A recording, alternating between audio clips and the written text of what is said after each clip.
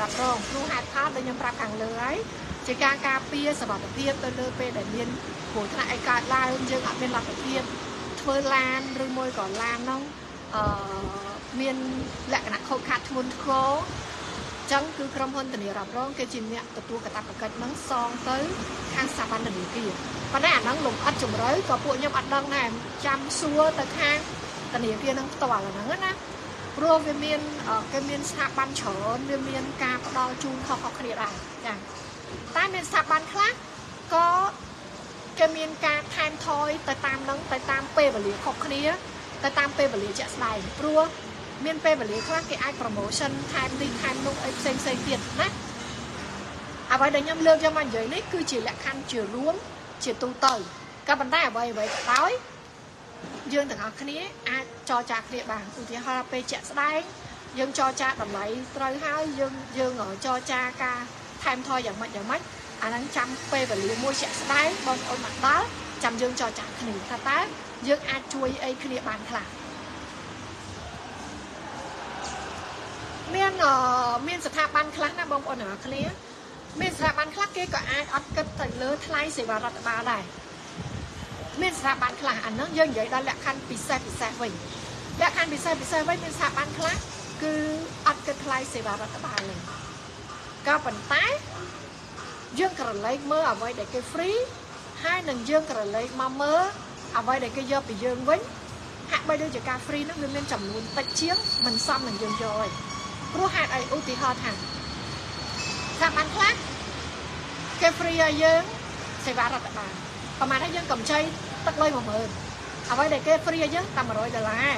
ក៏ប៉ុន្តែយើងកន្លែងទៅមើលការប្រាក់ហើយនឹងសេវាដែលគេឆាចពីយើងឧទាហរណ៍ថាប្រសិនបើយើងទៅយកស្ថាប័នមួយដែលដែលមានកម្ចីទឹកលុយ10000ដែរហើយគេ free សេវារដ្ឋបាលឲ្យយើង100ក៏ក៏ប៉ុន្តែបើយើងកលេចទៅមើលការប្រាក់ថ្លៃជាង1គុណ2ឬមួយក៏ថ្លៃជាងច្រើនឧទាហរណ៍ថា ពី flat rate 1.5មកនៅ flat rate 0.65បងប្អូនគិតថាខុសគ្នាច្រើនប៉ុណ្ណាខុសគ្នាពាក់កណ្ដាលអញ្ចឹងបើណាការប្រាក់ខុសគ្នាពាក់កណ្ដាលនៅខុសគ្នាអីទៀតជួនកាលដើម្បីភាពតាក់ទាញគេ free សេវារដ្ឋបាលឲ្យយើងក៏ប៉ុន្តែយើងកលេចមើលវិញនៅពេលដែលគេឆាកចំណាយផ្សេងផ្សេងឲ្យយើងបង់វិញឧទាហរណ៍ថាឡានខ្លះប្រភេទត្រឹមព្រា 0607ទេទឹកលុយយើងកម្ចីថា10000អីទេ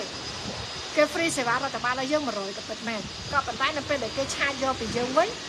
គ្រាន់តែរដ្ឋបាលប្រចាំខែមួយខែ40ដុល្លារ50ដុល្លារបងប្អូនគិតថាយើងបង់សេវារដ្ឋបាលប្រចាំខែគេតែ3ខែវារួចវារួចអាថ្លៃគេ free ឲ្យយើងប៉ុន្តែការចំណាយដែលយើងត្រូវបង់សេវារដ្ឋបាលមួយខែ 40ដុល្លារសម្រាប់យើងបង់7ឆ្នាំបងប្អូនគិតថាអស់មកអាហ្នឹងអាហ្នឹងជាចំណុចដែលយើងត្រូវទៀងទាត់ការចំណាយណានៅពេលដែលគេ free ឲ្យយើងនៅពេលដែលគេអីហ្នឹងយើងត្រូវដឹងថាតើអាចចំណាយផ្សេងផ្សេងទៀតហ្នឹងមកឧទាហរណ៍ថាសេវារដ្ឋបាលប្រចាំខែគេឆាយយើងមួយខែ40ហើយរយៈពេលបង់ហ្នឹង7ឆ្នាំអញ្ចឹង84ខែគេឆាយលុយយើងគ្រាន់តែខុសការចំណាយ3300ដុល្លារតែគេ free ឲ្យយើង100វិញ សំណួរសួរថាតើវាស័ក្តិសមអត់ដែលយើងត្រូវទៅចាក់យកអា100ហ្នឹងហើយផ្លិចមើលការចំណាយ3 4000ដែលគេ extra charge ពីយើងអាហ្នឹងជាអ្វីដែលបងប្អូនត្រូវដឹងហើយអាហ្នឹងជាអ្វីដែលខ្ញុំតែងតែធ្វើការបង្ហាញដល់អតិថិជនឲ្យបានជ្រាបដោយសារមករយៈនេះបងប្អូនអ្នកគ្នាអត់ឃើញខ្ញុំនិយាយអំពីការបង្ហាញនឹងច្បាស់ច្បាស់ដោយសារតែ អឺនៅពេលដែលយើងបង្ហោះវីដេអូទៅក្នុង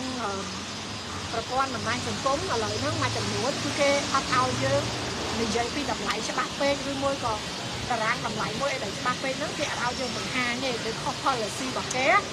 អញ្ចឹងហើយអឺដើម្បីជៀសវាងការគេលុប page លុបអីយើងឬក៏គេ block យើងអត់ឲ្យដំណើរការ live អត់ឲ្យដំណើរការបង្ហោះវីដេអូអីអាហ្នឹងអឺ ពួកខ្ញុំអាចបង្ហាញបានទេមួយរយៈហ្នឹងក៏ប៉ុន្តែបើសិនជាបងប្អូនឆាតផ្ទាល់អាហ្នឹងពួកខ្ញុំនៅតែអាចបង្ហាញបានខ្ញុំនៅតែអាចបញ្យល់បានតែបើឲ្យមកពេល live ខ្ញុំ live ប្រាប់ចឹងហ្មងអឺវាខុស policy របស់គេអញ្ចឹងហើយទៅវីដេអូខ្ញុំមួយថ្ងៃនេះបងប្អូនឃើញខ្ញុំអត់អាច show ហ្មងទេខុស policy របស់ page